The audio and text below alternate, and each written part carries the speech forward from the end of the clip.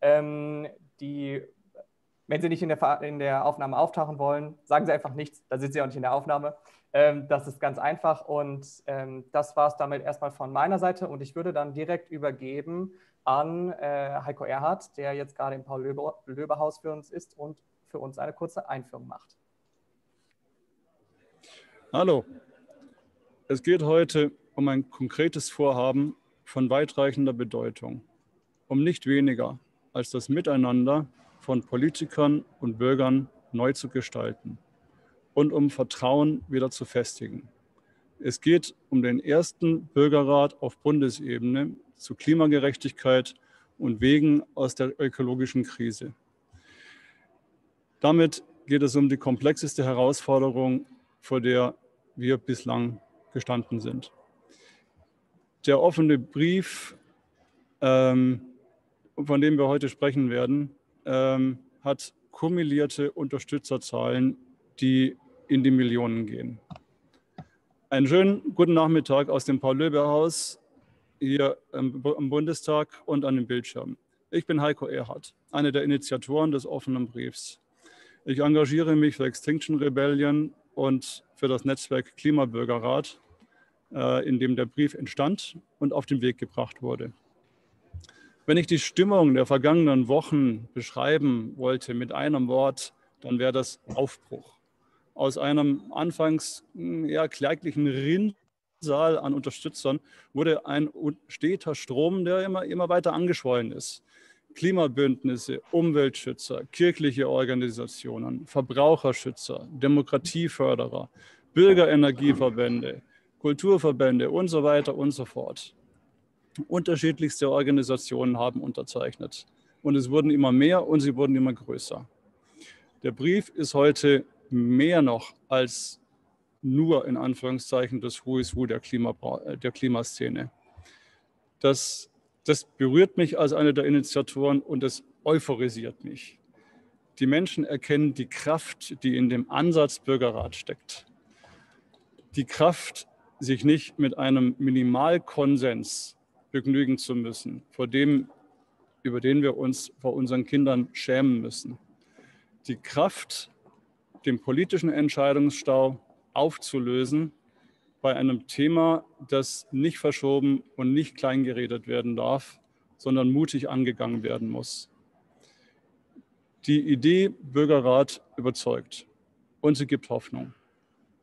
Hoffnung, zu diesem wichtigen Thema uns zusammenzusetzen, fundiert auszutauschen, statt über Social Media uns Meinungsfetzen um die Ohren zu schlagen. Hoffnung, komplexe Zusammenhänge wirklich verstehen zu können, jenseits von Milieus, von Filterblasen, Parteipolitik, Lobbyismus und Fraktionszwang. Wir brauchen jetzt Fokus auf das, was getan werden muss. Gemeinsam Lösungen entwickeln, um die Klimakatastrophe, das Artensterben und die soziale Ungerechtigkeit endlich ernsthaft anzugehen. Ein Bürgerrat ist Kompass und Seismograph zugleich. Ein Bürgerrat gibt der Politik eine klare Willensbezeugung informierter Bürger mit auf den Weg, die die Richtung für die Klima- und Umweltpolitik anzeigt.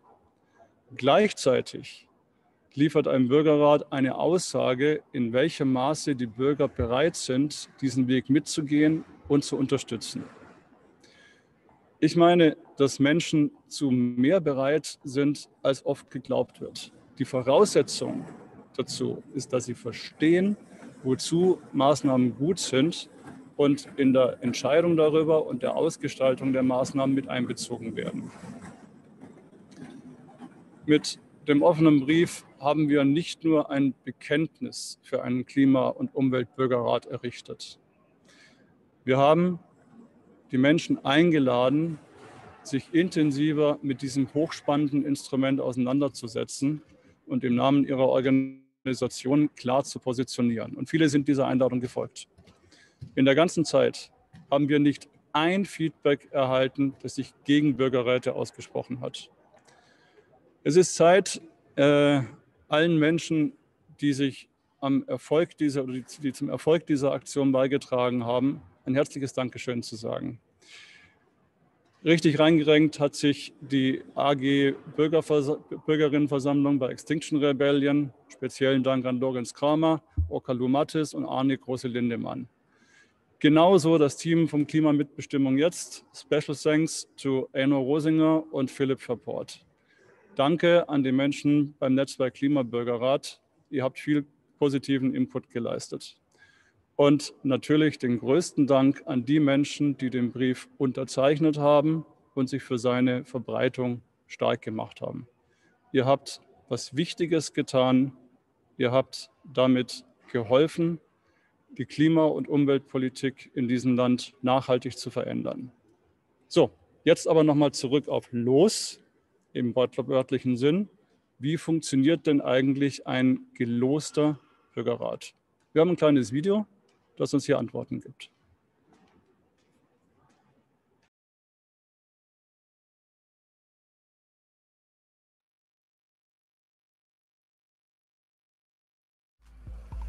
Zufällig ausgewählte Personen werden gefragt, ob sie die Bundespolitik zum Thema Klimaschutz beraten wollen. Von den Interessierten werden 150 Menschen ausgelost, die die deutsche Gesellschaft in all ihrer Diversität repräsentieren. Über mehrere Wochenenden hinweg werden sie zu Themen des Klimawandels von unabhängigen Expertinnen und Experten informiert. Anmoderierte Diskussionen in kleinen Gruppen helfen ihnen, ihre eigenen Meinungen sowie die Bedürfnisse der anderen unter Einbeziehung der wissenschaftlichen Erkenntnisse zu reflektieren. Abschließend erarbeiten sie gemeinsam Empfehlungen für eine sozial gerechte und umweltfreundliche Politik. Damit zeigen sie der Regierung, was eine gut informierte Stichprobe der Gesellschaft zum Thema Klimapolitik denkt. In Frankreich, England und Irland wurden solche Verfahren bereits mit großem Erfolg durchgeführt. Ja, ganz herzlichen Dank äh, für dieses Video von der Initiative Klimamitbestimmung jetzt, das uns gerade einen kurzen Einblick gebracht hat in das Verfahren.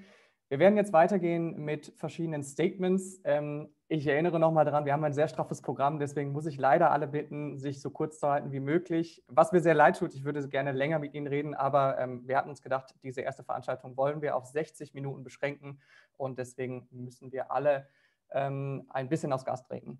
Ähm, ich äh, werde jetzt zuerst überreichen an die ähm, Organisationen, die hier äh, vertreten sind, der Unterzeichnenden. Das sind zuerst ähm, Extinction Rebellion, dann Klima mit Bestimmung jetzt und dann Fridays for Future.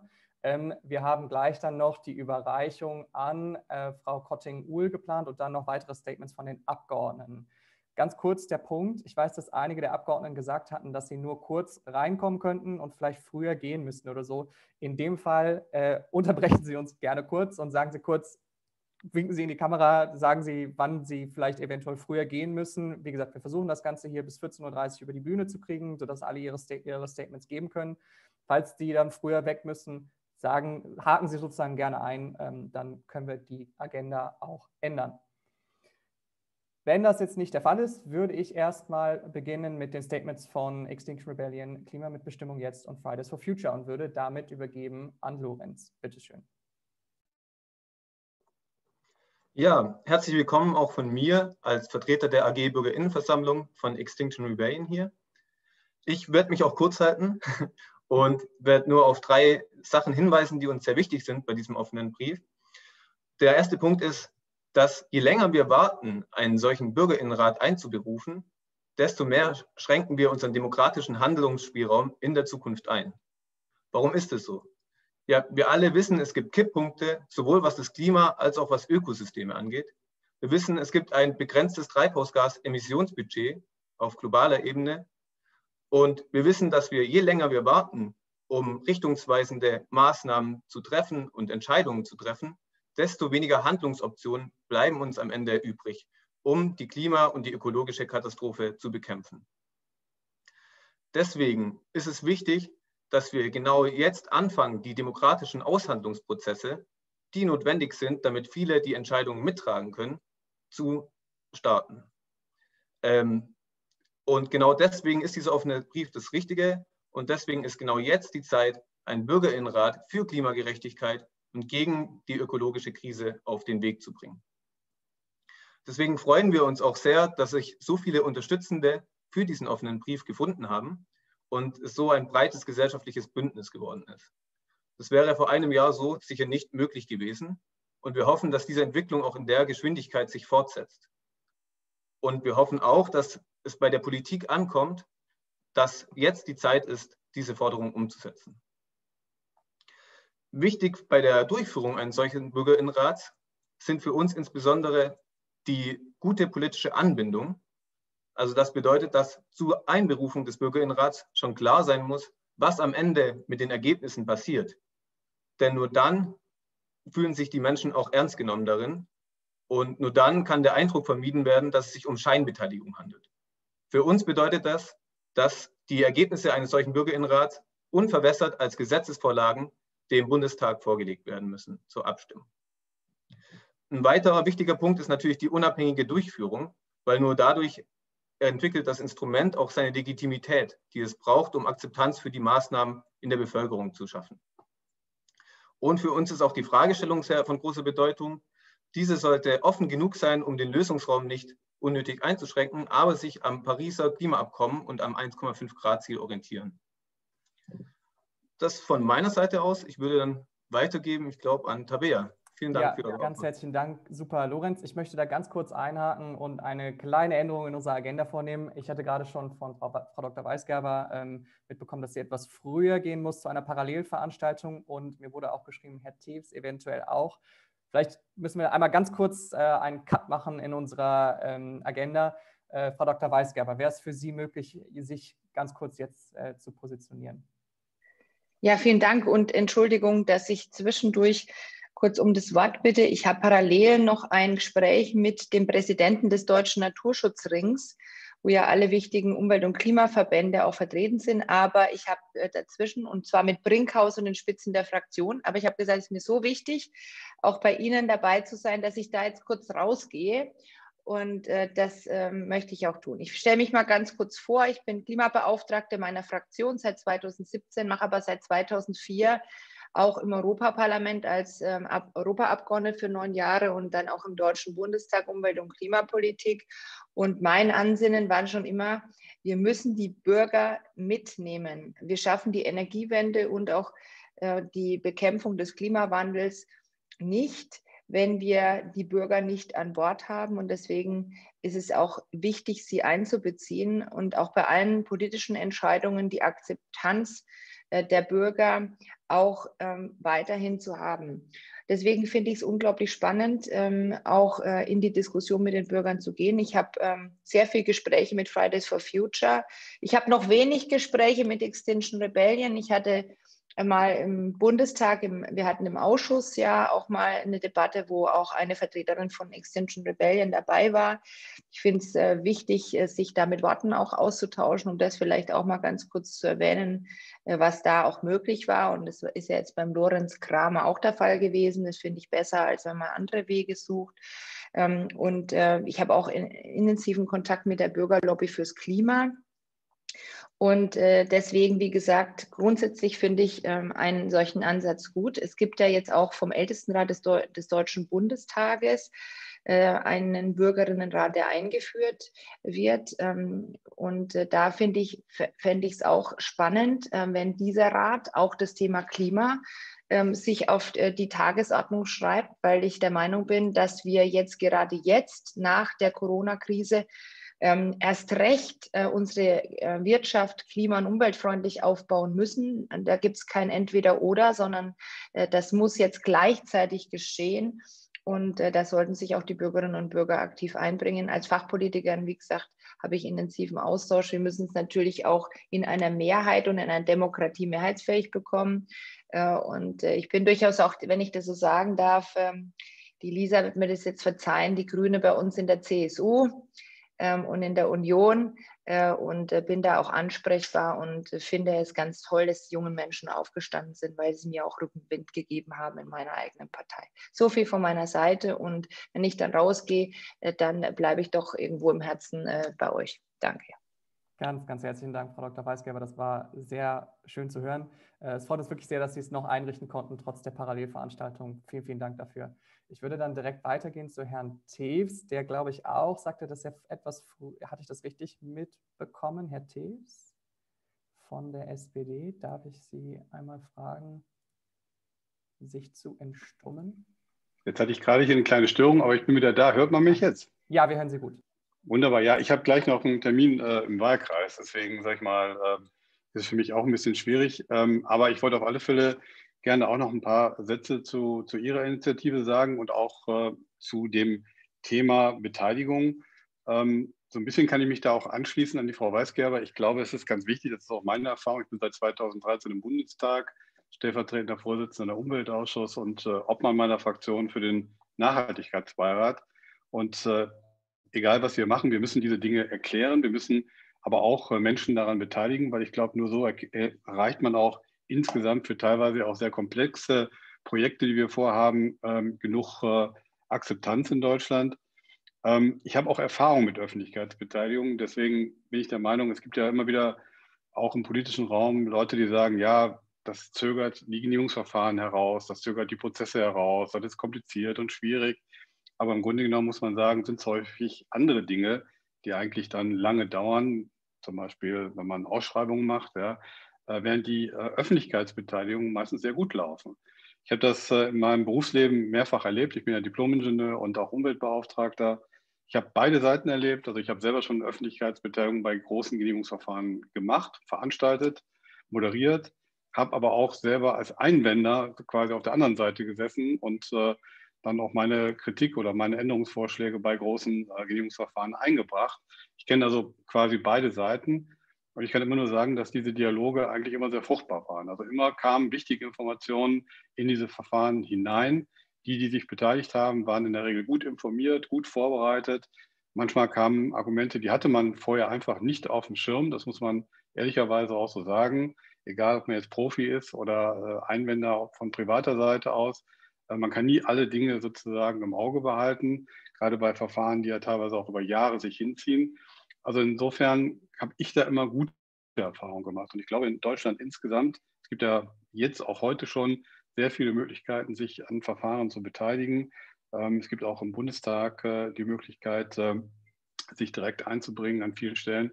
Also ich glaube, das hilft. Das hilft, das funktioniert gut. Das funktioniert auch heute schon in vielen Bereichen und ich bin sehr gespannt darauf, ob, äh, sag ich mal, so eine Rätestruktur oder wie so eine Rätestruktur dann funktionieren kann. Sie haben ja in dem kleinen Film gerade gezeigt, dass es auch an einigen Stellen schon probiert wird. Äh, auch in Deutschland, sage ich mal, gibt es ja erste Ansätze dazu. Also ich bin sehr gespannt. Ich stehe dem sehr offen gegenüber und das kann ich, glaube ich, auch für meine Fraktion sagen.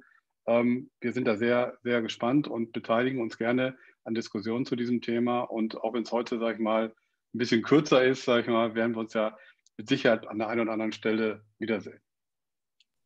Ganz herzlichen Dank. Das hoffen wir auch, dass wir uns äh, bestimmt nochmal wiedersehen und widersprechen werden. Und mit Herrn Träger hatten wir auch schon Austausch. Ähm, großartig. Ganz herzlichen Dank, Herr Teves, dass Sie es einrichten konnten, stellvertretend für den Herrn Träger. Ähm, ich würde dann jetzt weiter auf dem Programm gehen und das Wort an äh, Tabea Rosak von der Initiative Klima mit Bestimmung jetzt überreichen. Ähm, Tabea, bitteschön. Guten Tag allerseits. Ich äh, stehe mal für Sie auf und trete quasi ans virtuelle Rednerpult, um den ganzen trotz der Corona-bedingten Digitalanstaltung zumindest ein bisschen einen authentischen Flair zu geben. Vielen Dank, dass Sie alle da sind. Äh, ich hoffe, Sie können mich gut hören. Ich bin Tabea Hossack, ich bin 24 Jahre alt, Wirtschaftspsychologin und wie Philipp gerade schon gesagt hat, Teil der Initiative Klima mit Bestimmung jetzt, die gemeinsam mit Extinction Rebellion und weiteren Organisationen den offenen Brief mit initiiert hat. Nachdem Sie alle unser kurzes Video gesehen haben, gehe ich davon aus, dass Sie ein grundlegendes Verständnis davon haben, wie Bürgerinnenräte funktionieren und ähm, auch, dass wir uns inmitten einer globalen Klimakrise befinden, ist Ihnen sicherlich bekannt. Ähm, was Ihnen aber vielleicht noch nicht bekannt ist, ist ähm, die zweite Klimakrise, in der wir aktuell stecken und die sich genau wie die erste immer weiter zuspitzt, nämlich die Klimakrise in unserer Gesprächskultur. Und davon möchte ich Ihnen ganz kurz erzählen. Der Art. Dabei wird die Bundesregierung unter der Ära von Kanzlerin Merkel im Jahre 2034 vor dem Internationalen Gerichtshof angeklagt, den Kampf gegen die Klimakrise behindert oder zumindest nicht stark genug befördert zu haben. Es geht um jährliche Schadensersatzzahlungen in Milliardenhöhe für die von den zunehmenden Klimakatastrophen betroffenen Länder.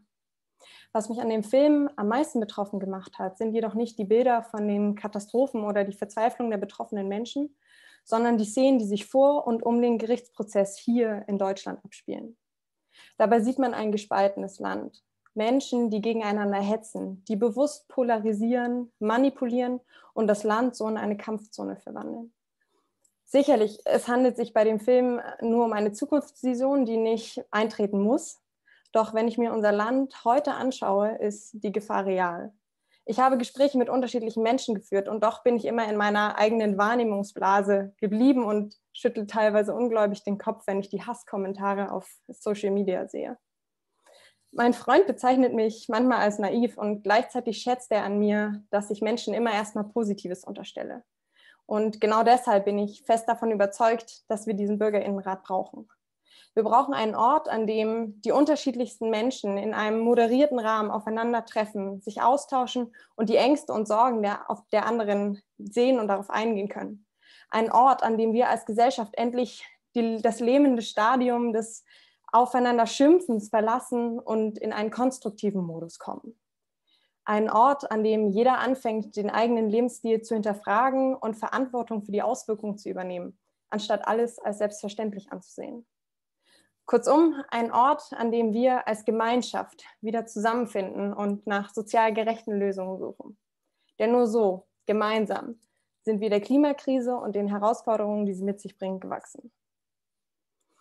Ich verstehe, dass ein Bürgerinnenrat nicht gleich bei allen auf Gegenliebe stößt. Es ist ein kompliziertes Verfahren. Bürger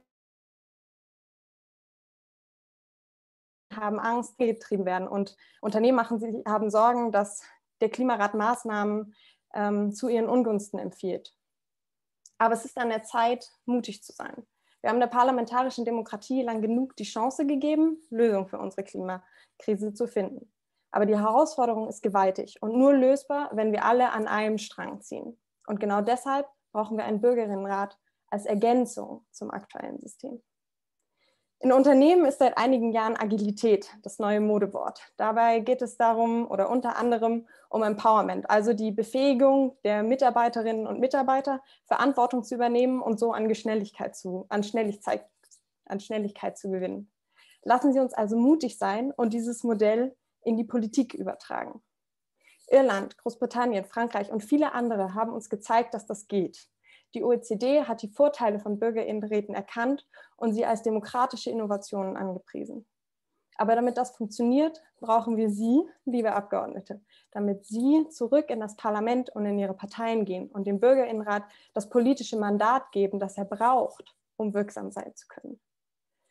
Denn diese Zeit erfordert mutige Schritte und innovative Methoden. Und wenn wir jetzt nicht handeln, dann müssen wir vielleicht wirklich in 14 Jahren zurückblicken und uns fragen, ob wir damals genug getan haben. Gegen die Klimakrise auf unserem Planeten und die Gesprächskrise in unserem Land. Und deswegen stehe ich heute hier in Vertretung für Klimamitbestimmung jetzt und richte meinen Appell an Sie, lassen Sie uns gemeinsam mutig sein. Es ist Zeit. Vielen Dank. Ja, sehr schön. Ganz, ganz herzlichen Dank an Tabea von Klimamitbestimmung jetzt. Ich würde dann direkt weitergehen äh, zu Fridays for Future äh, und wir haben heute Bruno Wipfler bei uns. Bruno, möchtest du ähm, fortfahren, bitte? Ja, äh, guten Tag. Sie haben es gehört. Ich bin Bruno Wipfler und ich darf heute hier Fridays for Future vertreten. Ähm, denn auch wir haben äh, vergangene Woche diesen offenen Brief unterschrieben ja, und ich bin froh auch, dass in dem Brief die Qualitätskriterien für Bürgerräte angesprochen werden. Denn äh, die sind wichtig. Das dürfen Sie mir glauben. Ich habe das ganze letzte Jahr über einen Bürgerrat genau deswegen auch erforscht. Ja, ich vermute, Sie wissen alle, warum es unsere Bewegung gibt. Ja, unserem Planeten stehen extrem düstere Zeiten bevor, wenn wir das 1,5 Grad Ziel nicht erreichen, wenn wir diese Grenze überschreiten. Wenn wir es nicht schaffen, die Erde innerhalb dieser Grenze zu stabilisieren, dann droht eine weitere Erhitzung und zwar in einem Ausmaß, mit dem wir nicht klarkommen und mit dem unsere Umwelt erst recht nicht zurechtkommt. Und trotzdem machen wir gerade Pläne, bei denen eigentlich das Ziel nur noch durch ein Wunder erreicht werden kann. Das muss ich vielleicht mal kurz erklären. Ähm, für dieses Wunder müssten Menschen in anderen Staaten dieser Welt all die Emissionen einsparen und kompensieren, die wir in Deutschland selbst nicht rechtzeitig vermeiden wollen und zwar irgendwie ohne nennenswerte Gegenleistung. Ja, so ein Wunder ist nicht nur ungerecht, sondern auch sehr unwahrscheinlich. Also weitermachen wenn wir so weitermachen, dann führt eigentlich an der Katastrophe kein Weg vorbei. Und deswegen können und dürfen wir uns nicht darauf verlassen, dass Menschen in anderen Ländern unseren Ego-Trip ausbaden. Das bedeutet, wir in Deutschland müssen selbst handeln. Und zwar anders als vorher. Es gibt viele Gründe, warum das mit der ausreichenden Klimapolitik nicht so richtig klappt. Äh, einer davon ist Ihnen sicherlich bekannt äh, und das ist dieses Akzeptanzproblem, was auch schon angesprochen wurde. Werden die BürgerInnen das überhaupt akzeptieren, wenn sie klimagerechte Maßnahmen beschließen?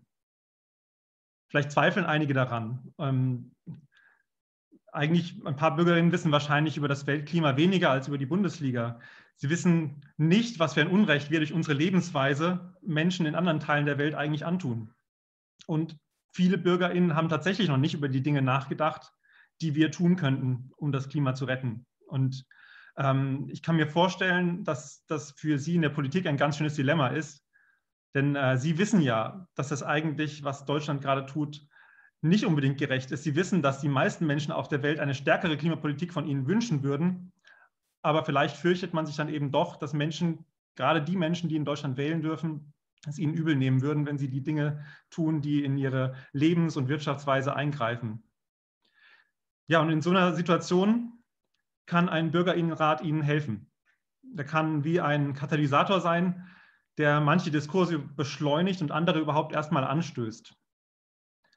Ganz normale BürgerInnen würden in so einem Klimarat mit der Klimakrise sich auseinandersetzen, und zwar in all ihren Facetten. Die würden äh, Handlungsoptionen verstehen, sie würden diskutieren, sie würden Folgen abwägen und auch nach sozialverträglichen Lösungen suchen. Und am Ende würden sie Empfehlungen geben, und auch das sind Empfehlungen, denen Sie später in der Politik anknüpfen können, auf die Sie sich berufen können. Das sind alltagstaugliche Empfehlungen, die auch von der Bevölkerung dann viel leichter akzeptiert werden.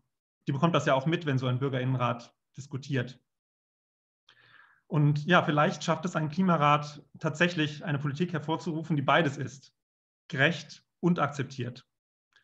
Und damit auch dieses Dilemma vielleicht aufzulösen. Ein Bürgerinnenrat würde sicher nicht alle Probleme in der Klimapolitik in Luft auflösen. Äh, nach allem, was Sie bis jetzt aber über Bürgerinnenräte hören und lesen durften, ähm, dürfte eigentlich klar sein, dass da sehr große Potenziale drin liegen.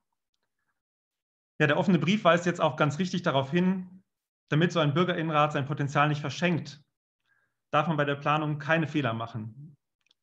Also das bedeutet, ähm, wir bitten Sie, fangen Sie schon jetzt an, sich Gedanken darüber zu machen, wie ein Bürgerrat zum Klima aussehen könnte und welche Kriterien er erfüllen muss. Nutzen Sie diese Chance, planen Sie einen Prozess für unsere Zukunft und planen Sie ihn gut. Ähm, das, ja, also dass Sie diesen Brief heute entgegennehmen, das ist ein wichtiger Schritt für uns alle und äh, wir wünschen Ihnen für uns alle viel Erfolg beim Beraten über dieses Thema. Sehr gut, ganz herzlichen Dank, Bruno von Fridays for Future. Ähm, ich gucke auf die Zeit. Wir haben jetzt gerade 14 Uhr, punktgenau 14 Uhr. Ich würde jetzt einfach vorschlagen, wir machen an dieser Stelle weiter mit der Überreichung des offenen Briefs an Frau Kotting-Uhl. Ähm, wir hatten noch eine Fragerunde für Journalistinnen und Journalisten geplant, aber ich würde diesen Punkt jetzt gerade erstmal überspringen und zu sehen, dass wir die Überreichung machen und dann vielleicht auf die Fragerunde später zurückkommen. Ähm, und würde damit jetzt gerne überreichen an Heiko Erhardt im Paul-Löber-Haus in Berlin. Ja, hallo. Ich muss leider gehen. Tschüss. Ich darf, ich darf neben mir begrüßen die Frau äh, Kotting-Uhl. Vielen Dank, dass Sie sich Zeit genommen haben für diese Übergabe. Da haben wir jetzt ja, doch äh, zwei, drei Monate lang Kampagne gemacht, mit vielen Menschen telefoniert, Mailings gemacht, viele Gespräche geführt, viel Aufklärung über das Thema Bürgerrat und natürlich auch über das Thema Klima und Umwelt. Und was jetzt rausgekommen ist, ist äh, eine beachtliche Liste, die uns selbst überrascht hat, wo ähm, kleine und große Organisationen draufstehen. Sie sehen, das ist, das erstreckt sich über insgesamt 15 Seiten, dreispaltig, sind über 170 Unterzeichner. Und da sind jetzt solche drunter wie die Klimaallianz mit all ihren Mitgliedern, Fridays for Future, Parents for Future, ähm, der Deutsche Naturschutzring mit dem BUND, mit, mit äh, NABU und, und äh, seinen ganzen Mitgliedern. ähm, Klimaneustadt Berlin, wir sind ja hier in Berlin, die GLS, verschiedene Stiftungen, German Zero, Project Together, der Jugendrat der Generationenstiftung und so, und so weiter und so fort. Es sieht ganz schön bunt aus. Und das möchte ich Ihnen jetzt zu treuen Händen übergeben. Ich glaube, Sie halten hier gerade was sehr Wichtiges in der Hand, etwas, das, ich habe es in der Eingangsrede schon kurz erwähnt, dass das Miteinander zwischen Politikern und Bürgern doch sehr nachhaltig und sehr positiv äh, gestalten kann und verändern kann. Ja, und damit würde ich an Sie gerne das Wort übergeben. Ja, vielen Dank, Herr Erhard. Vielen Dank alle, die gesprochen haben und sich hier beteiligt haben.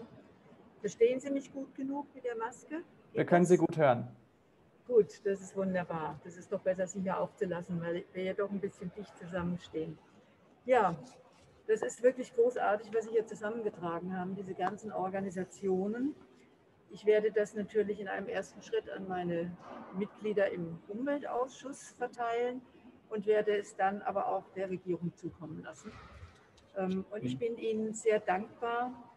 Mir ist als Vorsitzende des Umweltausschusses das Klima ja das vorrangige Thema. Das ist das Thema, das uns jede Sitzungswoche in einer oder der anderen mhm. Form beschäftigt, das auf ganz viele, ach, diese Masken gehen vom Waschen ein, das ist ein bisschen kurz geworden, das eigentlich auf alle Umweltthemen Einfluss nimmt. Und, und je mehr es sich manifestiert als Problem und tatsächlich äh, Veränderungen mhm. bewirkt, merken wir ja heute schon äh, in der Landwirtschaft, im Wasserhaushalt, ja, in sehr vielen Bereichen. Also es wird auf alles Einfluss nehmen, auf die gesamte Politik, auf die Innenpolitik, wenn die mhm. Flüchtlingsströme tatsächlich sich vermehren aufgrund von austrocknenden oder mhm. überschwemmten Gebieten, in denen Nahrungsmittel nicht mehr anzubauen sind oder in denen überhaupt nicht mehr zu leben ist. Also wir steuern auf eine Zeit zu, wenn wir nicht wirklich rasant umkehren mit politischen Maßnahmen, die man sich in ihrer Dramatik, glaube ich, heute gar nicht vorstellen möchte und vielleicht auch gar nicht kann. Mhm. Manchmal denke ich, vielleicht ist es auch gut, dass wir es uns in dem, was es tatsächlich bedeuten wird, nicht ausmalen können, weil man dann den Mut verliert. Und ich glaube, die nachfolgende Generation oder die nächste, die es schon massiver treffen wird, der wird dieses Problem leider mehr oder weniger unerledigt vor die Füße werfen. Mhm. Die braucht ungeheuer viel Mut und auch Zutrauen, das zu bewältigen. Und deshalb ist es mhm. vielleicht manchmal gut, dass wir die Dimension nicht so ganz erfassen. Ich bin Ihnen dankbar für dieses Konvolut, Konvolut auch an unterzeichneten Organisationen, weil Politik ja leider ein bisschen so gestrickt ist, dass sie oft Angst hat, ihren Bürgerinnen, ihren Gesellschaften, ihrer Wirtschaft zu viel zuzumuten. Mhm. Und aus dieser Angst heraus ähm, Maßnahmen unter dem betreibt, die eigentlich notwendig wären. Das sehen wir am CO2-Preis, das sehen wir ganz mhm. exemplarisch an der Verkehrspolitik, an der Landwirtschaftspolitik, eigentlich in allen Bereichen, die irgendwie mit Umwelt zu tun haben und mit CO2-Ausstoß zu tun haben, sehen wir, dass es bei weitem nicht ausreicht, was getan wird. Und ein, eine Übergabe, die so viele Organisationen unterschrieben haben, in der so viele Menschen dranhängen, teilweise wieder ganz viele Verbände, wenn es Dachverbandsorganisationen mhm. sind, die der Regierung zeigt, schau mal her, deine mhm. Gesellschaft ist viel weiter, längst viel weiter und du brauchst keine Angst zu haben, mhm. dieser Gesellschaft etwas zuzumuten. Sie bittet um diese Zumutung. Ja? Mhm. Und das ist, glaube ich, der einzige Weg, wie man politisch in dieser großen Frage einigermaßen auf einen Weg kommen kann, der angemessen ist, dass man der Regierung zeigt, die große Mehrheit der Gesellschaft ist für diese Maßnahmen, ist für die Zumutung und hm. deshalb keine Angst davor. Der Bürgerinnenrat, der Klimarat, um den es ja hier geht, äh, den begrüße ich auch sehr. Ich kämpfe selber dafür mit meinen Möglichkeiten, weil wir ja ähm, neben dem übergeordneten Problem Klimakrise auch noch viele andere kleinere Probleme haben. Daneben ständige Angriffe auf unser demokratisches System. Und meine persönliche Meinung ist, wenn wir die Demokratie als die Staatsform, die weiterhin geschätzt, verteidigt und im Kern nicht hinterfragt wird, von der großen Mehrheit unserer Bürgerinnen akzeptiert haben wollen, dann müssen wir Demokratie fortentwickeln. Und es ist die Stunde, es ist die Zeit, partizipative Elemente einzubauen. Hm. Es geht gar nicht nur darum, dass Regierungen, dass Politikerinnen gut Rat brauchen können, sondern es geht auch darum, dass wir Entscheidungsfindungen, Meinungsbildungen auf breitere Schultern, auf, auf mehr Schultern verteilen müssen. Das heißt, das gemeinsame Entwickeln von Maßnahmen, das gemeinsame Feststellen einer Situation, die Handeln erfordert, ist, glaube ich, auch um die Demokratie zu bewahren, notwendiger denn je. Und deshalb in zweierlei Hinsicht die Dimension des Problems, Klimakrise hm. und das Instrument Bürgerinnenrat, Klimarat. Herzlichen Dank dafür. Ja, vielen Dank für diese warmen und weisen Worte, die Sie da gesprochen haben. Ähm, das ist, ne, nicht das Mikrofon mitnehmen, das ist irgendwo auch ein, ein Handschlag der Bürger Richtung Politik, den wir hier haben. Und ich glaube, es ist eine ganz tolle Voraussetzung, da wirklich was draus zu machen und dieses Thema mal richtig ernsthaft und, und konsequent auch anzugehen. Ja, äh, ich sage vielen Dank und würde damit wieder zurück an die Regie geben. Schöne ja. Grüße hier aus dem äh, Haus. Grüße aus Berlin. Vielen herzlichen Dank und viele Grüße zurück nach Berlin äh, ins Paul-Löbe-Haus. Ich würde vorschlagen, wir haben noch etwa 20 Minuten und würde jetzt einfach zusehen, dass wir auf, unserer, auf unserem Programm weiterkommen. Ähm, wir haben jetzt noch ausstehen äh, drei ähm, Beiträge von Abgeordneten. Ich würde hier einfach alphabetisch vorgehen ähm, und das würde bedeuten, dass wir zuerst äh, Frau äh, Badum hören würden, dann Herrn Köhler und dann Herrn Lenkert, wenn ich das richtig sehe. Ähm, genau, und dann können wir am Ende hoffentlich noch ein bisschen Fragen beantworten und diskutieren. Damit würde ich jetzt erstmal übergeben an äh, Lisa Badum. Ja, vielen Dank, Philipp Verbrot und natürlich die ganze ähm, Community der Klimamitbestimmung. Sehr, sehr tolle Initiative. Ja, wie schon gesagt, mein Name ist Lisa Badum. Ich bin klimapolitische Sprecherin in der Grünen-Fraktion. Und ganz kurz Jetzt haben wir leider den Gong, aber macht nichts, namentliche Abstimmung. Ähm, ganz kurz, wo ich herkomme, ähm, Bürger, Mitbestimmung und Partizipation. Eine Durchsage für alle Abgeordneten. Die Wahlen zu Top. Müssen wir ganz kurz warten. werden in Kürze geschlossen. Die Wahlen zu Top 7 und 8 werden in Kürze geschlossen. So, ähm, ich konnte jetzt, äh, ich habe an namentlichen Abstimmung schon teilgenommen, muss jetzt kurz überlegen. Ähm, genau, ich in meiner Tätigkeit, bevor ich im Bundestag war, war ich bei einem grünen Energieversorger und habe fünf Jahre zu diesem Thema Bürgerakzeptanz, Bürgerbeteiligung bei erneuerbaren Energienprojekten gearbeitet, unter anderem Windenergie. Es war sehr spannend. Seit ich in den Bundestag kam, klar, Kontakt mit der Klimabewegung, äh, das bietet sich an wenn es um die Klimakrise und Klimagerechtigkeit geht und habe da alle äh, Schattierungen und Gruppen kennengelernt von, äh, die auch heute alle dabei sind, Extinction Rebellion, Fridays for Future, Ende Gelände und viele, viele mehr, die ich ja gar nicht alle aufzeigen kann. Und ähm, ich glaube, dieser ähm, Kommunikationskanal, dieses Gemeinsame, das zeigt sich auch gerade in schwierigen Situationen. Zum Beispiel der Danneröder Wald ist für uns Grüne gerade eine schwierige Situation. Und ich versuche gerade jetzt mit der Klimabewegung in ähm, Kontakt zu bleiben, weil das ist es letztendlich. Wir haben alle ein ähnliches Ziel. Da spreche ich jetzt auch für 99 Prozent meiner Kolleginnen und Kollegen im Umweltausschuss, außer einer Fraktion, die, die nicht demokratisch ist, wir haben dieses gemeinsame Ziel von ähm, Klima- und Umweltschutz und müssen da zusammenarbeiten. Warum ist mir der Bürgerinnenrat wichtig? Nur zwei Aspekte. Ähm, ich habe das auch in unseren Entschließungsantrag zum Klimaschutzgesetz reingeschrieben. Ich glaube, eins der ersten offiziellen Dokumente im Bundestag, wo der Bürgerinnenrat auftaucht. Ähm, jetzt mit dem Brief ist natürlich ein riesen, Riesenaufschlag, ähm, ja, wo diese Wegstrecke zum, hoffentlich dann auch zum guten Ende kommt. Zwei Punkte finde ich super wichtig. Erstens, wir haben Menschen, die sich sehr aktiv an dieser Demokratie beteiligen, die die Ressourcen haben, die Zeit, äh, das Know-how und wissen, wo sie sich einbringen können. Das sind die Menschen, die uns Mail schreiben, anrufen und so weiter.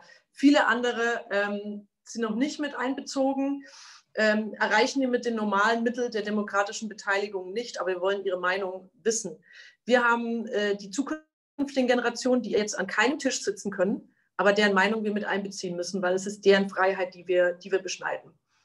eine wichtige Säule, die der Bürgerinnenrat abbildet. Und zweiter Punkt, äh, letzter Punkt, ähm, die Gesellschaft zerfällt in immer mehr kleinere Blasen, auch in der Klimafrage. Und ähm, auch hier persönliche Erfahrung aus meinem Wahlkreis. Ich komme aus einer Autoregion. Und wenn ich auf der einen Seite die Leute habe, die den Ratentscheid unterschrieben haben und auf der anderen Seite den ähm, Mitarbeiter am Band, der eine Diesel-Einspritzpumpe herstellt, ist da relativ wenig Überschneidung zwischen den beiden. Und dann haben wir noch ganz, ganz viele, die sich gar nicht dafür interessieren, für beide Welten nicht, aber für die Mobilität wichtig ist. Und nur eine Frage, diese sozial-ökologische Transformation, wo diese Gruppen, diese Blasen zusammenkommen müssen, sich gleichberechtigt, vorurteilsfrei begegnen können, da ist der Bürgerinnenrat das Instrument. Super, danke für die Initiative und ich freue mich auch, ähm, ja, dass alle Kolleginnen und Kollegen das im Ausschuss unterstützen. Wir diskutieren hart in der Sache, aber ich glaube, in dem Punkt sind wir uns total einig, dass die Bürgerinnen und Bürger mehr beteiligen wollen. Großartig, klasse. Ganz herzlichen Dank an äh, Frau Badum. Ich würde direkt weitermachen mit Herrn Köhler von der FDP. Herr Köhler, sind Sie da? Ja, herzlich. Hören Sie mich? Ja, ja wir hören Sie. Perfekt, ja. Hi. Ja, herzlichen Dank ähm, ähm, und auch für die vielen Vorreden und den sehr guten Film, diesen sehr guten, sehr gut erklärenden Bericht. Ich bin, ähm, bin selber, ich habe Philosophie studiert und ähm, bin ein großer Fan, habe in meiner Doktorarbeit über demokratische Beteiligungsprozesse für kommende Generationen äh, geschrieben. Und ich bin ein großer Fan von, von auch dieser Habermaschen Idee von deliberativen Diskursen. Zu sagen, okay, wir haben einen herrschaftsfreien Diskurs, in dem wir wirklich mal alle mitnehmen und äh, wirklich auch möglichst voraussetzungsfrei, ganz wird das, ich, wird wahrscheinlich nicht funktionieren, aber äh, ich habe zumindest in Ihrem offenen Brief ja auch schon nochmal gesehen, äh, auch, dass Sie den Konsultationsprozess angesprochen haben. Und das finde ich gut, das finde ich richtig. Ich glaube tatsächlich, dass es an, an vielen Stellen eine möglichst breite Diskussion ähm, auch in der Bevölkerung, auch über Maßnahmen, auch darüber, was das eigentlich alles bedeutet, was wir hier machen, ähm, bedarf. Finde ich absolut richtig. Ähm, ich finde auch einen Konsultationsprozess, der vorher sozusagen auch nochmal die Diskussionsgrundlagen darlegt. Ich glaube, dass das ein ganz zentraler äh, Begriff war. Da, da, war ein Punkt, wo ich jetzt gedacht habe, also Sie meinen wahrscheinlich mit Zivilgesellschaft alle Stakeholderinnen und Stakeholder, die da eingebunden werden. Also nicht nur quasi nur Verbände und Vereine, sondern wirklich sozusagen am Anfang hat. Das finde ich sehr gut. Ähm, aber ich will äh, auch, und da muss ich, also ich finde es unehrlich von der Politik, wenn ich jetzt einfach nur sagen würde, alles super, alles toll, äh, total klasse, machen Sie weiter so und äh, dann am Ende äh, gibt den Bürgerrat und am Ende kommt da nichts bei raus. Ich glaube, worüber wir uns unterhalten werden müssen, und das finde ich den spannenden, spannenden Debattenteil, wo wir gerne auch nochmal äh, im Nachgang diskutieren können, ist die Frage, die Sie, ich glaube, unter Punkt 1 äh, im offenen Brief haben, ähm, ist die Frage der, der sozusagen, welche Auswirkungen hat der Bürgerrat. Weil das wird die große Frage sein. Ich bin ein extrem großer Fan der repräsentativen demokratischen, äh, der repräsentativen Demokratie. Ich glaube, dass die funktioniert und ich glaube, dass sie auch äh, sehr, sehr gut funktioniert. Und ich glaube auch, dass sie auch in puncto Klimawandel gut funktionieren kann und auch weiterhin gut funktionieren muss. Ähm, ich glaube auch nicht übrigens, äh, dass, dass Politikerinnen oder Politiker Angst vor Diskussionen haben. Ich bin auf genügend Podien und auch mit genügend Vertreterinnen und Vertretern von Leuten, die überhaupt nicht die gleiche Meinung haben wie ich in Diskussionen. Und das, das müssen wir führen. Und das hat, sollte auch niemand Angst vor haben, hat auch, glaube ich, kaum jemand. Ähm, aber die Frage ist, wie wir die Demokratie ergänzen. Weil immer dann, wenn wir die Demokratie anfassen, wenn wir sozusagen an die Institutionen gehen, die wir haben, wenn wir darüber diskutieren, dann muss man sehr, sehr genau aufpassen, was man tut. Ich glaube, der, die, der Debattenpunkt ist noch nicht zu Ende geführt. Ansonsten bin ich aber auch ein großer Fan davon, äh, die liberative Demokration, äh, Demokratieprozesse auszubauen. Großartig, ganz, ganz herzlichen Dank, Herr Köhler. Und ich würde dann noch zuletzt das Wort übergeben an Herrn Lenkert von der Linken. Herr Lenkert, Sie haben das Wort. Ja, schönen guten Tag. Ich hoffe, Sie hören mich alle. danke, danke für die Vorstellung. Ja, für die Linke ist direkte Demokratie ein Kernanliegen und ein Beispiel bin ich selbst. Ich war Maschinenbauer in der feinmechanisch-optischen Industrie und bin im Bundestag, weil ich ein Volksbegehren für mehr Kindergartenplätze und eine bessere Personalausstattung in Kinder, Personal in Kindergärten gestartet habe und auch gewonnen habe im Übrigen im Freistaat Thüringen damals. Gewonnen heißt, das Gesetz wurde zu 90 Prozent umgesetzt und Bürgerinnenbeiräte kenne ich übrigens auch schon lange vor Ihrem Brief. Wir hatten in Jena ein Bauprojekt, das eine Katastrophe war. Per Volksentscheid wurde es abgewählt. Daraufhin war die Stadtverwaltung und die Parteien der Meinung, damit ist das Bauprojekt komplett tot. Und dann hat man einen Workshop gemacht und im Prinzip Bürgerinnen und Bürger eingeladen, genau nach dem Prinzip des Bürgerinnenrates. Aus allen Wohngebieten und Schichten in Jena wurden Personen, Menschen angeschrieben. Etwa 60 haben sich bereit erklärt mitzumachen und haben dann das Projekt neu gestaltet. Es kommt jetzt erfolgreich mit einer Zustimmung in der Stadt, die wir sonst nie erreicht hätten. Also insofern, weil Menschen sich dann plötzlich mit dem Thema befassen, was sie nie befassen wollten oder nie den Mut hatten, sich damit zu befassen, sich dann aber befassen mussten, also persönliche Überzeugung, jetzt bin ich ausgewählt, jetzt mache ich mit, hat das Projekt eine ganz andere Dynamik bekommen. Es wurden Fragen gestellt, die vorher nicht beantwortet wurden, weil die Fragen nicht gestellt wurden. Die wurden beantwortet und vor allen Dingen, es wurde auch verstanden, warum manche Entscheidungen so fallen, wie sie auf den ersten Anblick sinnlos sind, scheinen, aber eben doch Gründe haben. Es ist ein gutes Instrument. Ich hoffe, dass wir dieses Instrument ergänzend nicht, um die Sorgen auch von Lukas Köhler ein bisschen auszuräumen, ergänzend zur parlamentarischen Demokratie machen, weil am Ende gibt es ja noch ein was. Am Ende muss jemand Verantwortung übernehmen und entscheiden. Und diese Verantwortung kann man per Volksentscheid machen oder man überlässt sie den Abgeordneten, die dann in Verantwortung sind. Und genau, aber die Vorbereitung dahin, das ist genau der Weg des Bürgerinnenrates und vor allen Dingen, ich wünsche mir, dass in diesem Bürgerinnenbeirat dann auch Leute sind, die heute der Meinung sind, es gibt keinen Klimawandel damit sie eben nicht einfach wegklicken, wenn solche Artikel kommen, sondern direkt darauf gestoßen werden, auf die Beispiele, es erleben können und damit sie dann eben merken, dass der Klimawandel auch sie betrifft. Und ich wünsche mir aber auch, dass man eben auch das Problem erkennt in einigen Umweltbewegungen, dass es eben schwierig ist, wenn man in einem Ort wohnt mit 60 Leuten, wo einmal die Woche ein Bus fährt, ein Behördenbus und ansonsten kein ÖPNV ist, dass man den Pkw noch braucht. Und dieses Verständnis kann in Bürgerinnenräten deutlich besser geweckt werden, auch in Klimafragen, und dass man eben dann gemeinsam Lösungen entwickelt für die Menschen vor Ort und für ein Verkehr, dann eine Verkehrswende hat. Und da denke ich mal, ist eine große Chance. Vielen Dank für die Initiative. Unsere Unterstützung haben Sie und meine als umweltpolitischen Sprecher der Linksfraktion sowieso. Alles Gute und viel Erfolg und wir machen auf jeden Fall mit. Natürlich begleitend, vielleicht habe ich ja das Glück und werde angeschrieben. Dankeschön. Ganz, ganz herzlichen Dank, Herr Lenkert, ähm, für Ihren Beitrag. Ich bin begeistert. Wir haben 18 nach. Ähm, wir sind relativ zügig mit dem wesentlichen Programm durchgekommen. Ich würde jetzt gerne ähm, Fragen zu lassen, insbesondere von Pressevertreterinnen und Vertretern. Ich habe in der Liste der Teilnehmenden gesehen, dass wir ein paar äh, dabei haben, wenn ich das richtig äh, wahrgenommen habe. ich weiß nicht, wie es am einfachsten ist. Entweder Sie stellen einfach Ihre Frage entstummen sich und stellen ihre Frage oder sie melden sich mit der Hand im Video oder mit der Hand in der Funktion, in der Zoom-Funktion. Ähm, gibt es Fragen, egal an wen, an die InitiatorInnen oder an die Abgeordneten?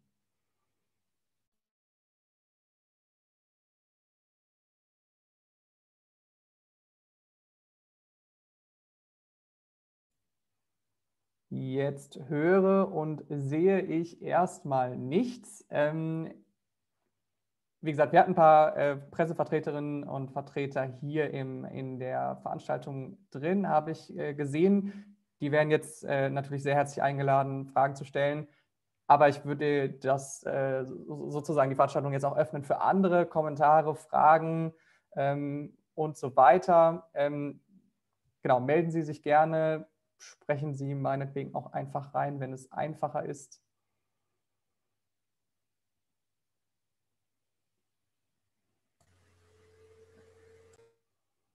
Wenn nicht, müssen Sie mir weiter zuhören.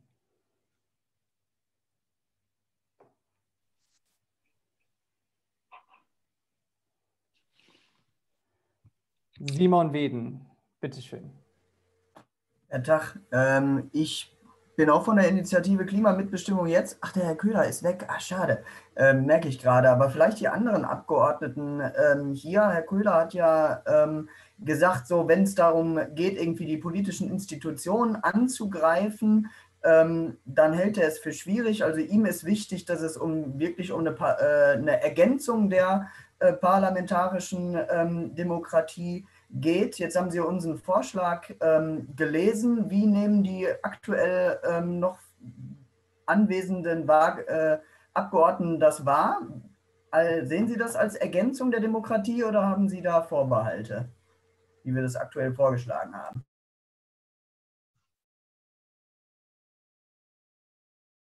Wenn ich darf.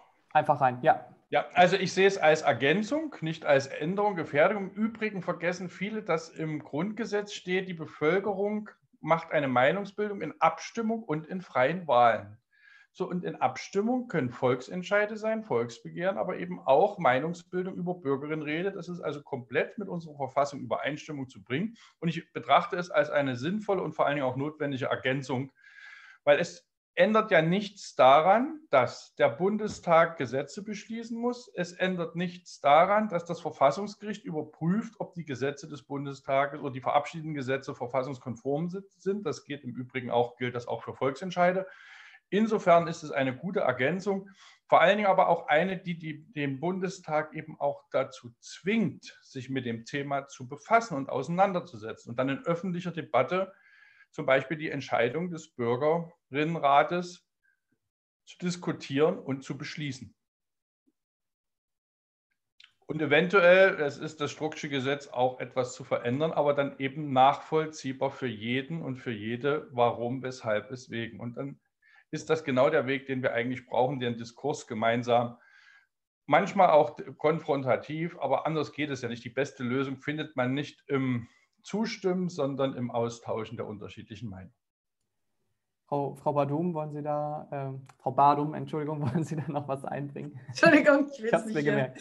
Der Namenskontrolleur. Äh, ist tatsächlich selten, aber nein, gar nicht so selten.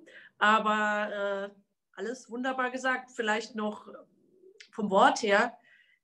Der Bürgerinnenrat ist keine Ergänzung zur Demokratie, weil er ist ja Teil der Demokratie Ergänzung zur parlamentarischen Demokratie. Super, großartig. Ich wollte ganz kurz dann das Wort noch mal einmal überreichen an Tabea Hosak von der Initiative Klimamitbestimmung jetzt. Tabea, du wolltest noch was anmerken. Ja, ich äh, wollte, wenn jetzt gerade nicht so viele Fragen sind, noch mal kurz die Chance ergreifen. Wir haben ja jetzt gerade eine, einen Teil, quasi einen, einen Brief, offenen Brief erfolgreich überreicht. Wir haben aber parallel bei Klimamitbestimmung jetzt noch eine Petition eingereicht, die aktuell läuft beim Bundestag, beim Petitionsausschuss. Ähm, das heißt, auch da die Möglichkeit an alle Anwesenden, uns aktiv zu unterstützen, dass diese Petition erfolgreich ist, um nicht nur den Umweltausschuss am Ende überzeugt zu haben, sondern vielleicht auch noch den ein oder anderen Parlamentarier, der gerade noch ein bisschen am Zweifeln ist. Genau, ich sehe gerade, der Simon hat den Link schon in in den Chat gepostet. Da sieht man auch nochmal unser Video, was wir vorhin angeschnitten haben. Das wird nochmal alles ein bisschen mehr erklärt. Und ganz kurz an der Stelle nochmal Werbung in eigener Sache. Sehr schön. Danke dir, Tabea. Gibt es sonst noch weitere Punkte? Ich sehe, der Simon meldet sich nochmal. Simon, ich sehe, äh, J meldet sich aber auch. Äh, erstmal lasse ich Ihnen gerne. Dann, dann lassen wir erstmal die Person mit dem Namen J äh, sprechen. J, können Sie, können, können Sie oder kannst du dich in. Ah, ja, ach, Herr ja, Streich. Also, genau. Entschuldigt bitte, dass ich meinen Namen da nicht eingegeben hatte. Das habe ich versäumt, weil das auf Zoom-Konferenzen ansonsten bei mir automatisch ist. Also, ich bin ja hier in einer Art Doppelfunktion dabei einerseits als Journalist und auf der anderen Seite als Buchautor und Mitglied des Deutschen Pennzentrums als äh, Einzelunterzeichner, mache derweil ziemlich Werbung unter meinen Kollegen für diese Initiative. Äh, meine Frage an euch wäre, und auch an die Abgeordneten. Äh, wie geht denn jetzt der parlamentarische Weg, dass dieser Klimarat äh, realisiert wird und in die Gänge kommt? Und wie schätzt ihr die Mehrheiten dazu ein? Ganz, ganz herzlichen Dank erstmal noch an Herrn Streich für die Anwesenheit und auch fürs Unterzeichnen. Total super, dass Sie ja, hier sein können. Ähm, ich würde die Frage dann weitergeben an die zwei Abgeordneten, die noch im Telefonat sind, Herrn Lenkert und äh, Frau Badum. Ähm, machen wir es doch wie eben. Herr Lenkert zuerst, bitteschön. Ja, also das Erste ist, ich hoffe, dass die 50.000 Unterschriften geschafft werden online in der Frist, weil dann ist eine öffentliche Anhörung im Bundestag unumgänglich. Und dass wir dann im Bundestag aufgrund der Anhörung eine Empfehlung des Petitionsausschusses erhalten, den Bürgerinnenrat zu, also, zu installieren. Parallel dazu, und das hoffe ich, dass wir das gemeinsam hinkriegen, könnten Fraktionen einen gemeinsamen Antrag einbringen zum Bürgerinnenrat. Wie die Mehrheitsverhältnisse sind, das ist dann, es konkret wird, immer schwieriger. Erstens kostet es Geld. Zweitens ist es doch ein Stückchen zusätzliche Arbeit und natürlich auch die Angst, Einfluss zu verlieren. Das heißt, also bei einer Fraktion bin ich mir sicher, sie stimmt hundertprozentig dagegen da, das ist halt so, aber gut, damit lebt man. Das, wie sich die anderen, also bei den Grünen, bei uns bin ich mir relativ sicher und auch bei der FDP, dass die da mitmachen, wenn man das entsprechend hinkriegt. Ob es die Regierungskoalition macht, da müsste ich in meine Glaskugel gucken und die ist gerade nicht da. Klasse, Frau Badung. Die Regierungskoalition, die heute in der Sitzung war, hat sich ja positiv geäußert. Von daher, es gibt uns ja zumindest Hoffnung, Ralf. Und ich tatsächlich so ein überfraktioneller Antrag wäre das Beste. Und wir müssen natürlich die Regierung, Opposition, Dichotomie aufbrechen, um da auch eine Mehrheit hinzukriegen. Ähm, von mir aus kann auch die Regierung da äh, vorne draufstehen. Bin ich jetzt nicht eitel oder so. Und wir reihen uns ähm, dahinter ein und Mehrheit und dann verabschiedet. Das wäre unsere Vision. Mhm. Ja, das wäre der Weg. Und bei dem Antrag kann ich schon mal sagen, wir würden dann nicht draufstehen, schon mal zum Verständnis, weil wenn wir draufstehen, geht die CDU nicht drauf. Und dann wäre es natürlich günstig, wenn wir nicht drauf sind. Hauptsache der Antrag kommt, ja. dann machen wir trotzdem mit. Vielleicht wird das auch mal aufgebrochen. In diesem Zusammenhang. Das wäre höchste Zeit. Klasse. Herr Streich, beantwortet das Ihre Frage? Ja, danke.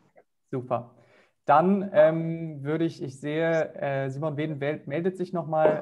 Simon, bitte. Und wir müssen, glaube ich, auch so langsam jetzt zum Ende kommen. Ja, also wunderbar. Alle äh, anwesenden Abgeordneten feiern das super. Das hat mich sehr gefreut auf ganz unterschiedliche persönliche Geschichte. Das heißt, da sind wir auf jeden Fall bei Ihnen an der richtigen Adresse. Uns geht es darum, dass es ein möglichst großes politisches Mandat äh, gibt. Mit wem sollten wir Ihrer Meinung nach als nächstes sprechen? Ich finde das klasse, dass Sie sofort mit Vorschlägen kommen, äh, wie Sie weitermachen können. Aber was brauchen Sie jetzt von uns, damit wir da wirklich in den nächsten Wochen und Monaten vorankommen? Oder was geben Sie uns für den Tipps? Was sollten wir als nächste Aktion im Netzwerk machen? Wir haben jetzt den offenen Brief gemacht, wir wollen weitermachen. Dann würde ich vielleicht diesmal zuerst Frau Badum bitten und dann danach Herrn Lenkert. Ich würde jetzt zuerst noch Herrn Lenkert geben, weil ich muss okay, so nachdenken. Okay. okay.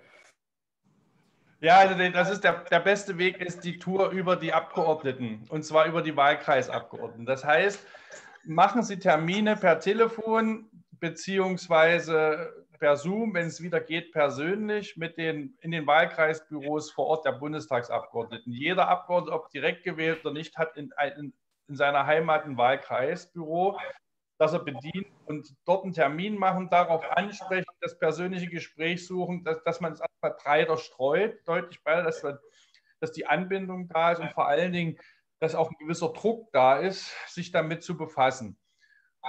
Das andere hat der Umweltausschuss ja schon bekommen, da sind alle Fraktionen informiert. Und wenn man natürlich diese Briefe dann nochmal in Kopie mit einer Information an die Fraktionsvorsitzenden der einzelnen Fraktionen weiterleitet, ist das mit Sicherheit auch hilfreich.